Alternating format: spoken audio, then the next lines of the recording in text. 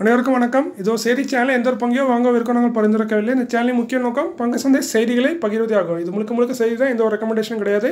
Daily என்னென்ன ஸ்டாக்ல அந்த stock எக்ஸ்சேஞ்சில் அப்டேட் பண்ணுறாங்க நாங்கள் டிவெண்டு போனஸஸ் ஸ்பிட்டு பைபேக் செய்ய போகிறோங்கிறத நாங்கள் டைம் டு டைம் சொல்லிட்டு இருக்கோம். மற்றபடி எந்த ஒரு ரெக்கமெண்டேஷன் கிடையாது. ஏன்னா ரெக்கமெண்டேஷன் பண்ண முடியாது. கிட்டத்தட்ட எல்லா ஸ்டாக்கோட நியூஸுமே வரும். இதில் நல்ல ஸ்டாக் இருக்கும் கெட்ட ஸ்டாக் இருக்கும். அதாவது ஃபண்டமெண்டலி வீக்கான ஸ்டாக் இருக்கும்.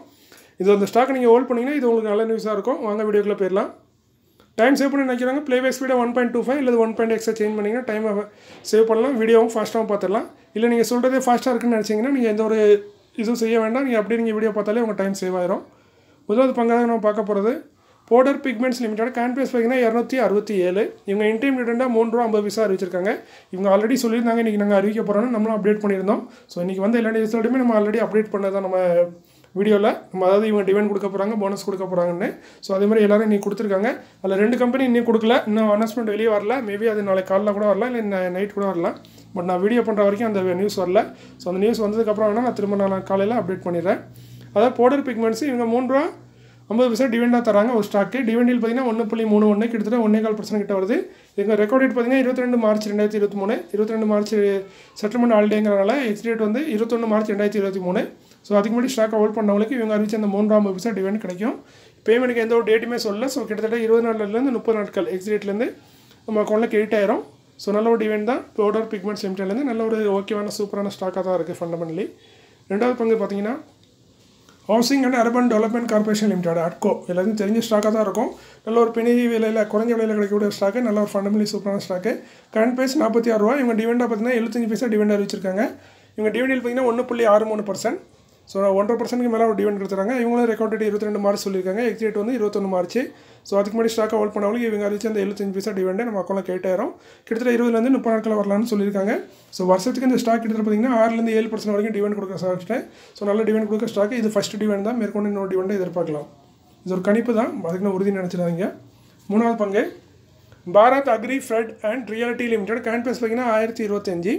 இவங்க ஸ்டாக் ஸ்பீட் அறிவிச்சிருக்காங்க ஒன்று இஸ்ட்டு டென்னு ஆல்ரெடி அறிவிச்சது தான் அதுக்கு ரெக்கார்ட் இன்றைக்கி அறிவிச்சிருக்காங்க. முப்பது மார்ச் ரெண்டாயிரத்தி இருபத்தி மூணு தான் ரெக்கார்ட் டேட்டு ஸோ எக்ஸிட் வந்து சேமாக தான் இருக்கணும். பட் ஸ்டாக் எக்ஸ்சேஞ்சில் இன்னும் அப்டேட் ஆகல. நான் அதனால் எந்த ஒரு மென்ஷனும் பண்ணல. ஸோ அதுக்கு முன்னாடி இந்த ஸ்டாக்கை ஹோல்ட் பண்ணோன்னா ஒரு ஸ்டாக்கு பத்து ஸ்டாராக மாறிடும். பட் ப்ரைஸ் அட்ஜஸ்ட் ஆயிரும். ஆயிரரூவா இருக்க ஸ்டாக்குன்னா இப்போ பத்து ஸ்டாக் ஆனதுக்கப்புறம் ஒரு ஸ்டாக் நூறுரூவாயாக மாறிடும். ஸோ என்றைக்குமே டிவிடெண்டு போனஸு ஸ்பிட்டு இது மூணுலேயுமே வந்து ப்ரைஸ் அட்ஜஸ்ட் ஆயிரும். அதை மனசில் வச்சுக்கோங்க. அது இப்போ ரெகுலராக பார்க்குறவங்க எக்ஸ்பீரியன்ஸ் ஆனவங்களுக்கு தெரியும். புதுசாக வர பிக்னர்ஸ்க்காண்டி இந்த நியூஸ் சொல்கிறேன் ஸோ இவங்களும் ஸ்பிரிட் கொடுக்குறாங்க. ஒன் இஸ்ட்டு டெனில் ஸோ ஸ்டாக்கை வச்சுருக்கோங்க நோட் பண்ணிக்கோங்க. நல்ல ஒரு ஸ்பிரிட் தான். அடுத்து நான்காவது பங்கு பார்த்தீங்கன்னா மெஜலனிக் க்ளவுட் லிமிடெட் கேன்பேஸ் பார்த்தீங்கன்னா அறுநூற்றி முப்பத்தி ஒம்பது. இவங்க போனஸ் அறிவிச்சாங்க மூணு இஸ்ட்டு ஒன்று ஆல்ரெடி இவங்க நாலு இஸ்ட்டு ஒன்று போனஸ் அறிவிச்சாங்க. அது என்னாச்சுன்னு கேட்பு கேட்கணும் நீங்கள் ஆக்சுவலி அதை கேன்சல் பண்ணிட்டாங்க. நாலு இஷ்டு ஒன்று கொடுக்கணும்னா அதுக்கு ஓரளவுக்கு ரிசர்வ் இருக்கணும். பட் இவங்க ரிசர்வ் கால்குலேஷன் பண்ணல ஏதோ சின்ன ஃபால்ட் வந்திருக்கு போல இருக்குது இவங்க ஏதோ தப்பாக கால்குலேஷன் பண்ணியிருக்காங்க போல இருக்குது இவ்வளோ ரிசர்வ் இருந்தால் தான் போனஸ் கொடுக்க முடியும்.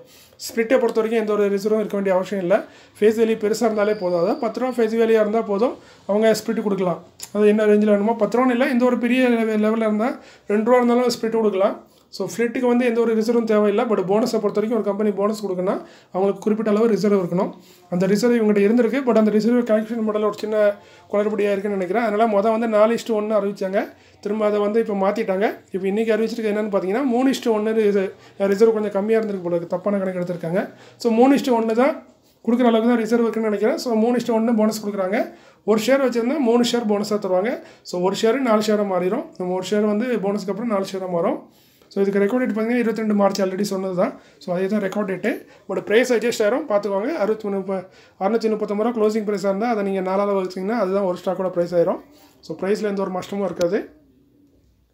ஐந்தாவது பங்கு. பிராண்ட் கான்செப்ட் லிமிடெட் இவங்க கான்பேஸ்னா இரநூத்தி இருபத்தஞ்சி. இவங்க போர்டு மீட்டிங் வர பதினாறு மார்ச் ரெண்டாயிரத்தி இருபத்தி மூணில் நடக்கிறதுக்கு. இந்த போர்டு மீட்டிங்கில் இன்டர்மீடியட் கொடுத்து முடிவு எடுப்போம்னு சொல்லியிருக்காங்க. ரெக்கார்டட் எதுவும் அறிவிக்கல. ஸோ இவங்க டிவெண்ட் ஹிஸ்ட்ரியை பார்த்தீங்கன்னா இவங்க ஆல்ரெடி எந்த ஒரு டிவெண்டுமே கொடுக்கல. அதனால் இவங்களுக்கு ஹிஸ்ட்ரியே கிடையாது.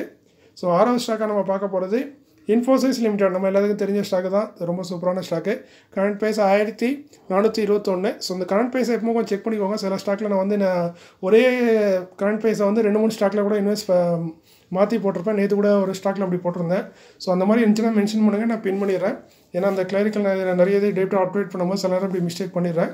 முடிஞ்சளவுக்கு அது தவறு தான் முடிஞ்ச முடிஞ்ச அளவுக்கு நான் அதை பார்த்து சரி பண்ணதுக்கு முயற்சி பண்ணுறேன் அதுமாதிரி இவங்க போர்ட் மீட்டிங் வந்து வர பன்னெண்டு பதிமூணு ஏப்ரல் ரெண்டாயிரத்தி இருபத்தி மூணு. ஸோ ஏப்ரல் மாதத்தில் பன்னெண்டு பதிமூணு இந்த ரெண்டு நாட்களில் இவங்க போர்டு மீட்டிங் இருக்குது அந்த போர்டு மீட்டிங்கில் ஃபைனல் டிவெண்டை கொடுத்து முடிப்போம்னு சொல்லியிருக்காங்க. அதோட இவங்க ரிசல்ட்டே அறிவிக்கிறாங்க. அதாவது நம்ம மார்ச் முடிஞ்சிடும்ல. மார்ச் முடிஞ்ச உடனே அந்த ஃபூரா ஒரு முழு முழு ஆண்டு முடிவுகளையும் வெளியிடுவான்னு சொல்லியிருக்காங்க. ஸோ இவங்க எவ்வளோ டிவிடன் கொடுப்பாங்கன்னு பார்த்தீங்கன்னா இவங்க ஹிஸ்ட்ரியில் பார்த்தீங்கன்னா போன வருஷம் பார்த்தீங்கன்னா ரெண்டு தடவை டிவிடன் கொடுத்துருக்காங்க. மேயில் ஒரு பதினாறு ரூபாயும் அக்டோபரில் பதினோரு ரூபா ஐம்பது பைசா கொடுத்துருக்காங்க. இது ரெண்டாயிரத்தி இருபத்தொன்னில் பதினஞ்சு ரூபா பதினஞ்சு ரூபா கொடுத்துருக்காங்க. ஸோ இந்த தடவை எப்படி பார்த்தாலும் பதினஞ்சுலேருந்து பதினாறு ரூபாக்குள்ள ஒரு டிவெண்டை கன்ஃபார்மாக எதிர்பார்க்கலாம். இன்ஃபோசிஸ் லிமிடெட்லேருந்து இது ஹிஸ்ட்ரியை பேஸ் பண்ணி தான் இது ஒரு கணிப்பு தான். அடுத்து சில முக்கியமான செய்திகளை பார்த்துடலாம். குளோபல் கேபிட்டல் மார்க்கெட் லிமிட்ஸாக இவங்க கரண்ட் ப்ரைஸ் முப்பத்தஞ்சு ரூபா நாற்பது பைசா. இவங்க ஆல்ரெடி வந்து போனஸ் ஸ்பிட் ரெண்டுமே அறிவிச்சிருந்தாங்க போனஸ் வந்து ஒன் இஸ்டு ஒன்று ஸ்பிட் பார்த்தீங்கன்னா ஒன் இஸ்டு டென் அதாவது ஒரு ஷேர் பத்து ஷேராக மாறிச்சு. ஃபேஸலி பத்து ரூபா ஒரு ரூபாய் மாற்றினாங்க அதுக்கு ரெக்கார்டு அறிவிச்சிருந்தாங்க இருபத்தஞ்சு மார்ச்னு. இப்போ அந்த இருபத்தஞ்சு மார்ச் இருபது மார்ச்சை வந்து கேன்சல் பண்ணிட்டாங்க. புது ரெக்கார்டேட்டாக அறிவிப்போம் அப்படின்னு சொல்லி சொல்லி முடிச்சிட்டாங்க. ஸோ புது டேட் என்னங்கிறது வெயிட் பண்ணி தான் பார்க்கணும். ஸோ பழைய டேட்டை கேன்சல் பண்ணிட்டாங்க. என்றைக்குமே ஸ்டாக்கை ஹோல்ட் பண்ணிங்கன்னா ரெக்கார்டட் எக்ஸிட்டாக கொஞ்சம் ஃப்ரீக்வெண்ட்டாக செக் பண்ணிட்டே இருங்க. அந்த ஸ்டாக் உங்கள் அக்கௌண்ட்டில் வச்சுருக்கீங்கன்னா ஏன்னா சில நேரம் இந்த மாதிரி மாற்றங்கள் நிறைய நடக்கும். சில நேரம் போனஸில் மாற்றம் கொடுக்குற மாதிரி சில ஸ்டாக்கில் மாற்றம் வரும். டிவெண்டில் பெரும்பாலும் இது வரைக்கும் யாரும் மாற்றம் சொன்னதில்லை. பட் போனஸே ஸ்பிட்டில் மாற்றங்கள் வரலாம். அதேமாதிரி ரெக்கார்டட் எக்ஸிட்டில் அடிக்கடி மாற்றங்கள் வரும். ஸோ அதை நீங்கள் அப்பப்போ நோட் பண்ணிட்டே இருக்கிறது உங்களுக்கு best Dwarikesh sugar and industries limited இவங்க கரண்ட் பேஸ் பார்த்தீங்கன்னா எண்பத்தெட்டு ரூபா. இவங்களோட போர்ட் மீட்டிங் நேற்று இருபது மார்ச்சில் நடக்கிறதுக்கு அந்த போர்ட் மீட்டிங் இன்டர்வியூ கொடுத்து முடிவு பண்ணு ஆல்ரெடி சொல்லியிருந்தாங்க. ஸோ அதில் வந்து ரெக்கார்டேட் வந்து அதில் வந்து வேறு ஏதோ ஒரு தப்பாக போட்டிருந்தாங்க. பதினொன்று மூணு ஏப்ரல்னு போட்டிருந்தாங்க. அதை இப்போ கேன்சல் பண்ணிட்டாங்க அந்த ரெக்கார்டேட்டை இப்போ புதுசாக ரெக்கார்டேட் என்ன சொல்லியிருக்காங்கன்னா நாங்கள் தப்பாக மென்ஷன் பண்ணிட்டோம். ஸோ கரெக்டான ரெக்கார்டேட் வந்து முப்பத்தொன்று மார்ச் ரெண்டாயிரத்தி இருபத்தி மூணு தான் ரெக்கார்டேட்டு நாங்கள் டிவெண்ட் அறிவிச்சோம்னா அதில் மூணு ஏப்ரல்னு போட்டிருந்தது. தப்பான இது அதை எடுத்துருங்கன்னு சொல்லி சொல்லியிருக்காங்க. ஸோ புதுசாக ரெக்கார்டேட் பார்த்தீங்கன்னா முப்பத்தொன்று மார்ச் ரெண்டாயிரத்தி இருபத்தி மூணு. ஸோ அதுக்கு முன்னாடி ஸ்டாக்கை ஹோல்ட் பண்ணுறவங்களுக்கு தான் இவங்க அறிவிக்க போகிற டிவெண்ட் கிடைக்கும். அடுத்து டிசிஎம் லிமிடெட் கரண்ட் பே பார்த்தீங்கன்னா முப்பத்தொருவா எண்பத்தொரு பைசா. கொஞ்சம் பெண்ணியான ஸ்டாக் மாதிரி தான் இவங்களுக்கு ஆர்டர் கிடச்சிருக்கு. ஆர்டர் கொடுத்தது கர்நாடகா கேரளாவோட அந்த பவர் டிபார்ட்மெண்ட்லேருந்து இந்த ஆர்டர் கிடச்சிருக்கு. ஆர்டரோட வேல்யூ பார்த்தீங்கன்னா எழுபத்தி மூணு லட்சத்தி தொண்ணூற்றி ஏழாயிரரூவா ரூபா. ஸோ சின்ன கம்பெனி தான் சின்ன ஆர்டர் தான். ஸோ நல்ல ஒரு டீசெண்டான ஆர்டர் தான். அதேமாதிரி Balu four J industries limited current price எண்பத்தொம்பது ரூபா. இவங்களுக்கு வந்து ஆர்டர் கிடச்சிருக்குன்னு சொல்லுவாங்க foreign machine making company based out of India is free to announce significant order அந்த ஆர்டரோட வேல்யூ கரெக்டாக இவங்க சொல்ல சிக்னிஃபிகண்ட் ஆர்டர் வந்து from a tractor manufacture based out of the middle east tractor manufacture out out of the middle ஈஸ்ட்டில் இருக்க கம்பெனிலேருந்து கிடச்சிருக்குன்னு சொல்லியிருக்காங்க. யார் கம்பெனின்னு மென்ஷன் பண்ணல. அதே மாதிரி என்ன அமௌண்ட்டு மென்ஷன் பண்ணல. பட் நல்ல ஒரு சிக்னிஃபிகண்ட் ஆர்டர் கிடச்சிருக்குன்னு சொல்லியிருக்காங்க. அடுத்த RailTel corporation of India limited இவங்க கரண்ட் பேர் நூற்றி அஞ்சு ரூபா. இவங்க வந்து centre for development and development development of advance computer computing C DAC அப்படிங்கிற கம்பெனிலேருந்து எங்களுக்கு ஆர்டர் கிடச்சிருக்கு. ஆர்டரோட வேல்யூ பார்த்தீங்கன்னா மொத்தமாக ஒர்க் ஆர்டரு இரநூத்தி எண்பத்தேழு கோடி ஐம்பத்தேழு லட்சத்துக்கு ஆர்டரு கிட்டத்தட்ட ஒர்க் ஆர்டர்லேருந்து முந்நூறு நாட்களுக்குள்ளே இதை முடிச்சுக்கிற இந்த ஒர்க் ஆர்டரை மு இந்த கான்ட்ராக்டை முடிக்கிற மாதிரி ஆர்டர் போட்டிருக்காங்க. ஸோ நல்ல ஒரு ஆர்டர் தான். ரயில் டெல் லிமிடெடுக்கு என்னப்பா ரயில் வந்துட்டு புல்லட் ரயில காலமேன்னு நீங்கள் கேட்கலாம். அடுத்து வர்றது புல்லட் ரயில் தான். Hindustan construction co limited current price பார்த்தீங்கன்னா வெறும் பதினஞ்சு ரூபா. அந்தளவுக்கு பெனி ஸ்டாக் இந்த ஸ்டாக்கு கிடச்ச ஆர்டரை பார்த்தீங்கன்னா மூவாயிரத்தி அறநூற்றி எண்பத்தொரு கோடிக்கு ஆர்டர் கிடச்சிருக்கு. புல்லட் ட்ரெயினில் இது. புல்லட் ட்ரெயின் ஸ்டேஷனுக்காண்டி ஆக்சுவலி புல்லட் ட்ரெயினுக்காண்டி இல்லை. புல்லட் ட்ரெயின் ஸ்டேஷனு இந்த ஸ்டேஷன் எங்கே அமைய போகுதுங்கிறத டீட்டெயிலாக பார்த்துருவோம் construction of Bandra Kurla complex station அதில் எஸ்என் போட்டு தப்பாக போட்டு அது B actually Bandra Kurla complex அங்கே தான் இந்த ஸ்டேஷன் அமைய போகுது. இந்த ஸ்டேஷன் வந்து பார்த்திங்கன்னா ஃப்ளோர்லேருந்து பார்த்திங்கன்னா நம்ம தளத்துலேருந்து கீழே அடியில் வர அதாவது கிட்டத்தட்ட பூமிக்கு அடியில் தான் இந்த பெரிய ஸ்டேஷன் வரப்போகுதுன்னு நினைக்கிறேன். ஸோ அதை தான் மென்ஷன் பண்ணியிருக்காங்க construction Bandra Kurla complex station அந்த ஸ்டேஷனை இது பண்ண போகிறாங்க ஸ்டேஷன் பார்த்திங்கன்னா கிட்டத்தட்ட bullet train station will be have six platform அதில் வந்து ஆறு பிளாட்ஃபார்ம் இருக்கும் மொத்தமாக அது வந்து கிட்டத்தட்ட பார்த்தீங்கன்னா கிட்டத்தட்ட பதினாறு கோச் வந்து புல்லட் ட்ரெயின் வந்து நிற்கிற மாதிரி அந்த பெரிய லெவலில் அந்த பிளாட்ஃபார்மை கட்டுறாங்க. இந்த ஸ்டேஷன் வில் பி ஹாவ் கனெக்டிவிட்டியும் மெட்ரோ அண்ட் ரோட் டிரான்ஸ்போர்ட் இந்த ஸ்டேஷன் வந்து மெட்ரோவோடையும் ரோடு டிரான்ஸ்போர்ட்டோடையும் கனெக்டடாக இருக்கும். அதோட இந்த station will be have total of three floors இந்த ஸ்டேஷன் வந்து மொத்தமாக மூணு ஃப்ளோரில் கட்டுறாங்க. டோட்டல் அந்த ஷேரோட ஸ்கொயர் மீட்டர் பார்த்தீங்கன்னா கிட்டத்தட்ட ரெண்டு லட்சம் ஸ்கொயர் ஃபீட்டில் ஸ்கொயர் மீட்டரில் வருது. ஸோ ரெண்டு லட்சம் ஸ்கொயர் மீட்டரில் இந்த கன்ஸ்ட்ரக்ஷன் வந்து கிடச்சிருக்கிறது பார்த்தீங்கன்னா இந்துஸ்தான் கன்ஸ்ட்ரக்ஷன் கோல் லிமிடெடுக்கு இது ஒரு சின்ன பெனி ஸ்டாக் மாதிரி தான் ரேட்டில் ட்ரேட் ஆகிட்டு இருக்கு. ஸோ இந்த ஸ்டாக்கோட மொத்த மார்க்கெட் கேப்பே பார்த்தீங்கன்னா ரெண்டாயிரம் கோடி தான். பட் இவங்களுக்கு கிடச்சிருக்க ஆர்டரே மூவாயிரத்தி அறநூற்றி எண்பத்தோரு கோடி.